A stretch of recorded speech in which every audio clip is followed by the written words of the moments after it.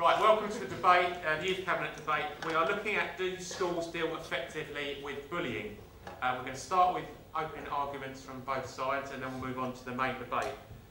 Um, if the schools were doing enough, were people bullied? Does the school know who the bully is? And also, does the, schools, schools think that bullying occurs if it happens more than once? But what if it's physical? And also, do they know that bullying comes home with you. They can come into school with a different face completely. And all these bullying policies say, oh, you can't bully, or you can't, you know, if this happens, you, you will get a consequence, things like that. But is it really enforced? Who, who is there to actually ensure that all these policies that are put down happens? But people are there to enforce them. You've got student councils that have got special responsibility for them. You've got anti-bullying ambassadors in some schools like St Clere's. You've got special staff members that have to deal with it. And of course, every school knows that trauma is caused from bullying. Every school knows that bullying comes home with you. Everyone knows that bullying has a long-term effect. Is it really the schools we need to be focusing on, or is it someone else? Do we need to be focusing outside of school? Do we need to be focusing on areas like Childline, or should we be focusing on places like Facebook, Twitter, Ask FM recently as well? Do we need to be focusing on social networks? And should we even be going to Parliament about this? Should to be honest with you, um, schools uh, are, have the responsibility of the child when they're not at home. Where do we draw the line of responsibility? Where do we say schools are responsible for this child anymore, and where do we say that they are? Where and when do parents need to be informed? Do we inform them every time someone calls them a name? Or do we inform them every time they get, I don't know, a broken rib?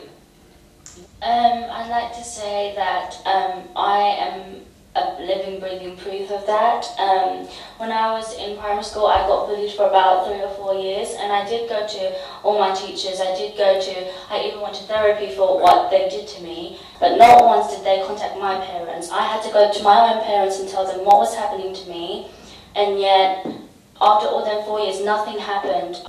EJ, you raised uh, a perfect sort of thing today. You've got a personal sort of history with it as such, but what that raises the point is, is that it has to be brought to the attention of the school first. We're assuming here that schools have the ability to tell when a child is being bullied based on whether or not you know they actually see it. And unless a child does come forward, you know, not much can be done. When the child does come forward, I can understand there may be failings in places. Uh, but it, then it comes down to who you come to. So are you saying that if you're being bullied, if you don't say anything, then you can't be expect it's your own fault? Some people are more sensitive to other things than others, so somebody calling one person a name, it may be nothing at all, but to somebody else it may be a major problem for them. Um, bullying is not always verbal. At school you get told that it's only bullying if it happens once or more. Um, in primary school especially, when little children come uh, like tell a teacher, they usually get called up tout, just tattletaling. Again, I can completely understand where you're coming from, but we still have to raise the issue. If the child doesn't speak out, there isn't much else that can be done. The school. I don't think that the bully decides where the line is. The school don't decide where the line is. The law doesn't. I don't think any of that does with bullying. I think the line is for the victim to decide. It's when they feel like they are getting bullied, when they feel like they are getting offended, when they know that it's upsetting them because them, them what the bully may think is minor, the victim may think is a completely different thing. Sam, you raised the perfect issue on exactly how complex bullying is. As you, you know, as you said, it's for the victims. Uh, it's the victim's own job to draw the line where they decide it's bullying. But how is the school to tell where that line is? I think that the problem isn't how you define bullying, it's how the school deals with bullying. For example, like I know with girls, when someone's being bullied, it's not really that obvious because in most cases it's not physical. I know for a fact that I would not be brave enough to go up to a bully box and stick a bit of paper in there.